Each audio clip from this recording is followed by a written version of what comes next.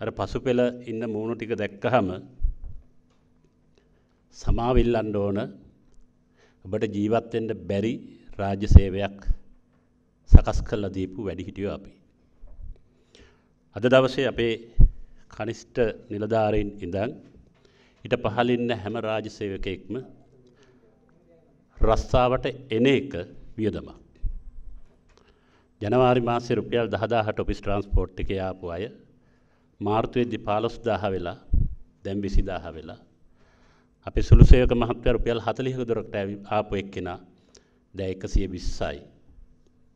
ඒ මනුස්සයාගේ ගමන් වියදම එක්කහු කරලා දවල් කන වියදම ගනම් බැලුවොත් මාස්‍යන්තිමට නෙවෙයි අවුරුද්ධකට සැරයක් සාරියක් සපද්‍යයක් ගන්න බැරිමට්ටමට දැන් ඔබ අසීරුතාව ඉන්නවා කියලා මම දන්න. එක එහෙමුණත් ඊය දවසේත් මම යම් ප්‍රැස්වීමක ඉන්නකොට අමාතවරු හතර පස්තිනෙක් එක්ක පණුවිඩයක්කාව රාජිනල් ධරන්ගේ වැටු වැඩි කිරීමේ අදහසක් ගැන. මම කිව්වා මේ වෙලාවේ වැටුප් නොලබන මිනිස්සුන්ට කියලා අපටත් ගුටිගස්සන්ඩ ලෑස්තිවෙන්ඩ සුදුසු නැහැ.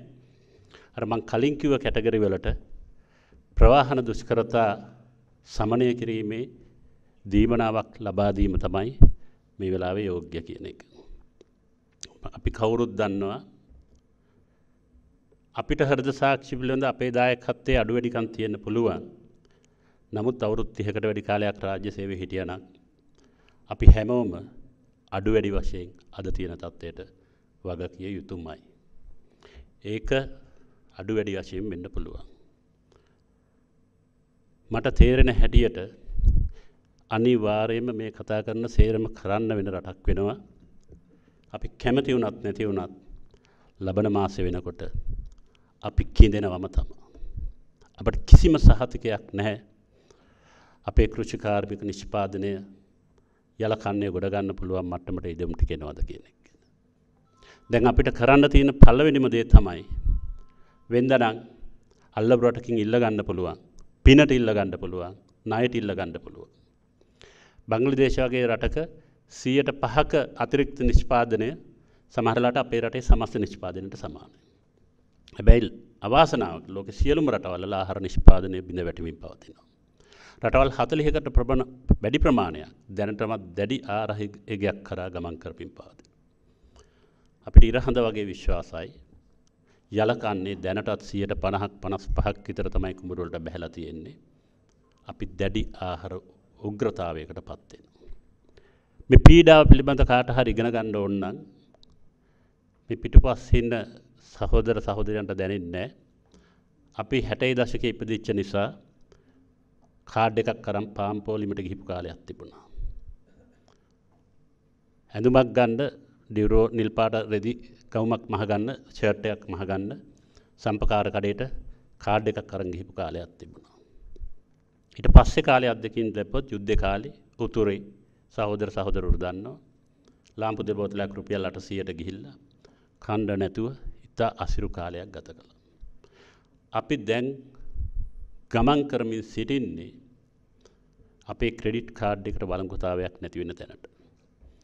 තව ටික දවසකින් අපිට තෙල් පෝලි මිදලා තෙල් නැතිව ඇවිල්ලා හරි වාහනේ දාලා හරි ගෙදරට හැකි. අපි හැමෝගෙම ගෙවල්වල වැඩි මොනොත් හාල් කිලෝ 10ක් ඇති. අපි යන තුන්වෙනි කඩෙත් නැති වුණාම අපට අපහු හැරිලා ඉන්න වෙනවා. බස්නාහිර පළාතේ සමස්ත අවශ්‍යතාවයේ සමස්ත නිෂ්පාදනයේ 10%ක්වත් එන්නේ නැහැ වී නිෂ්පාදනයේ. ඉතුරු 90% බස්නාහිර පළාතට පිටින් එන්න ඕන. අපට තේරෙනවා ඇති අපි ඉන්නේ ගිනි කන්දක් උඩ. ඒ නිසා මම පරිපාලන සංගමයට ස්තුතිවන්ත වෙනවා. ඊයේ ගරු අග්‍රාමාත්‍යතුමා සමග තිබ රැස්වීම් දෙකේදීම ගරු කුෂිකර මැතිතුමා මතක් කළ හිටියා.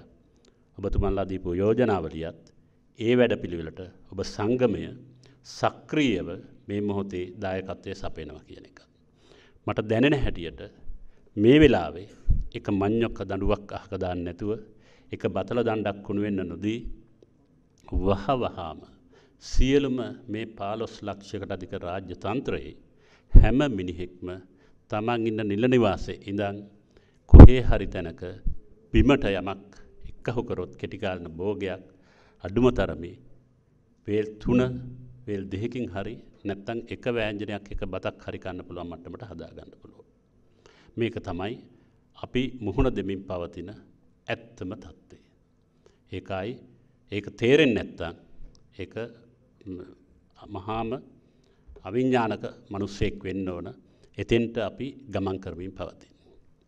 මිට මාස තුන හතරට කලින් නැත්තං අවුරුද්ධයට කලින් උදේට කිරිබීපු අපි අපි ලෑස්තුවෙන් එක අයින් වුණා. පාන් අපේ ලෑස්තුවෙන් අයින් වුණා. හවසට වැඩරල යනකොට කිඹුල බනිස් එකක් මොනොහරය අරංගි හිප එක අපේ ලෑස්තුවෙන් අයින් වුණා.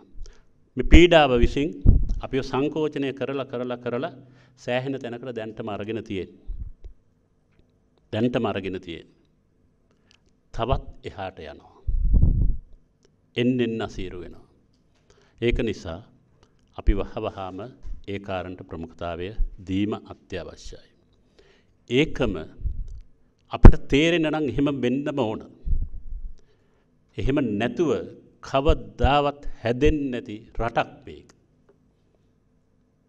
අපි මම ප්‍රාර්ථනා කළේ අපි විශ්වාස කළේ මේ අර්බුදය වෙලාවේ පාලොස් දිනෙක්ගේ අමාත්‍ය මණ්ඩලයකින් මාස හයක් යයි කියන එකයි. අපට අතිරේක ලේකම්කම ඉන්න කිසිම බැරි කමක් නැහැ. මාස හයක් නෙවෙයි අවුරුදු හයක් හරි මේ රට හැදෙනවන. අපි මේ තනතුරෙන් ගිහිල්ලා වෙන කෙනෙක් මේ තනතුරට ආවත් කමක් නැහැ මේ රට ගොඩ ගන්න ඕන. හැබැයි වහ වහාම කඩිනම් කන්ටින්ජන්සි ප්ලෑන් එකක් සකස් විය යුතුමයි. මේකට මුණ දෙන්න බෑ නැතුව. එක නිසා සියලු වරප්‍රසාද අවුරුද්ධහයකින් කල්දා ගන්න ඕන හැමෝම හැමෝම සියලු වරප්‍රසාද අවුරුද්ධහකින් කල්දා ගන්න සිද්ධ වෙනවා.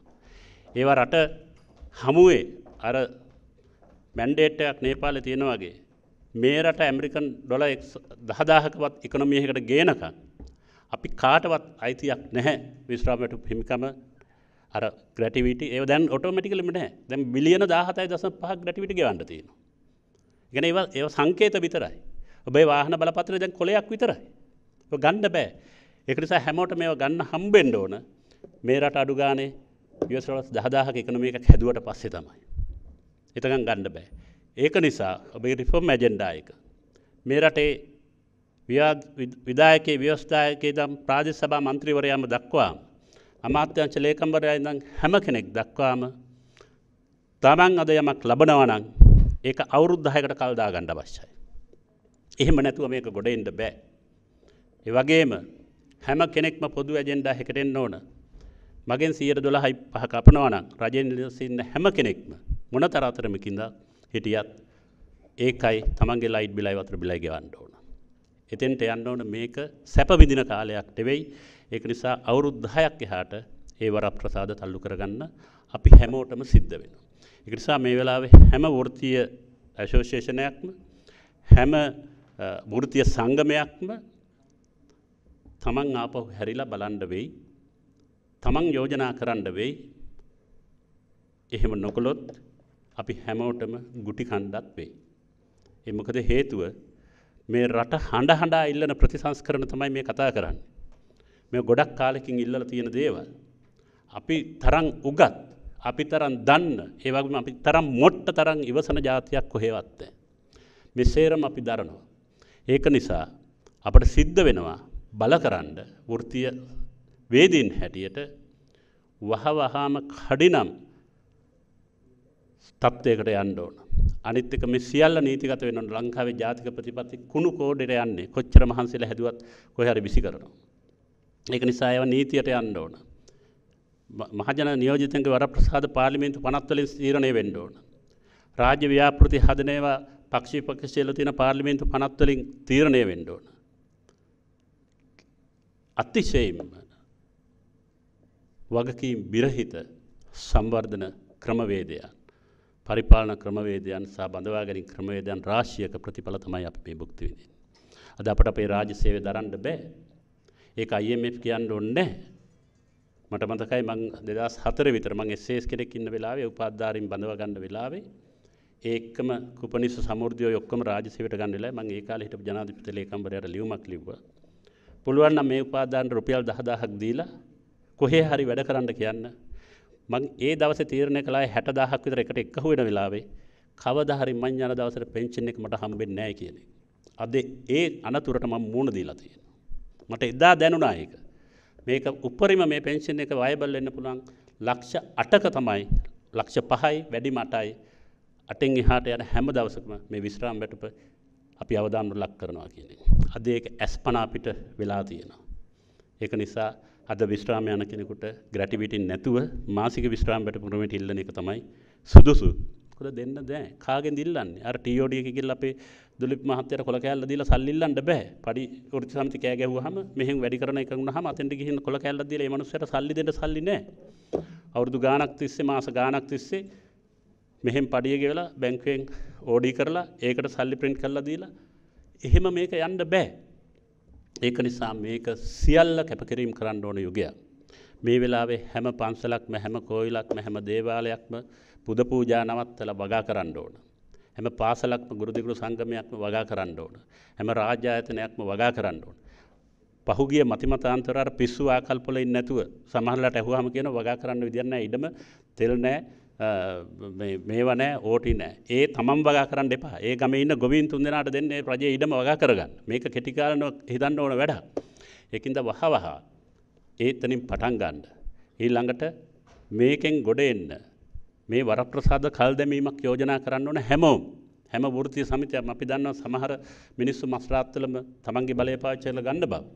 ඒ සියලුම දෙනා.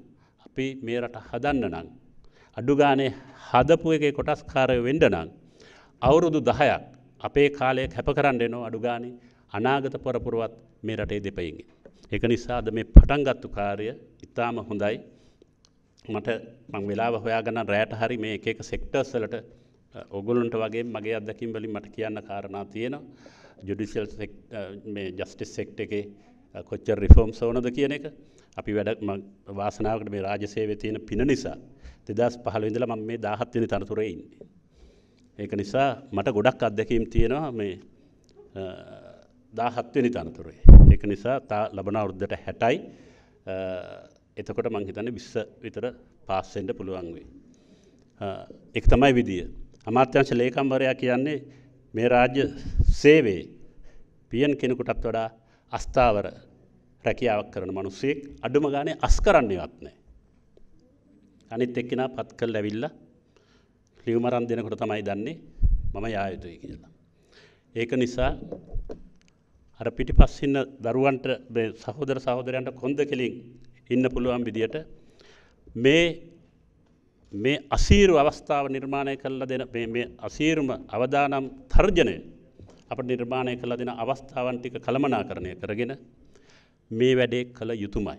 මේකට සමාජ හඬක් අවශ්‍යමයි.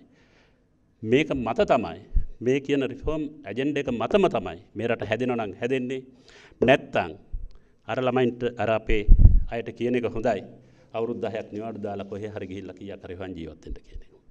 මේකට එකඟ නෙවෙනවා නම් කවුරු හරි දේශපාලන පක්ෂයක් කවුරු හරි මහජන සංවිධානයක් කවුරු හරි වෘත්තීය සමිතියක් මේවට එකඟ නොවෙනවා නම් ඒ සියල්ලම මේ රටේ දේශද්‍රෝහින් විදියට අනාගත පරපුර සටහන් කරයි.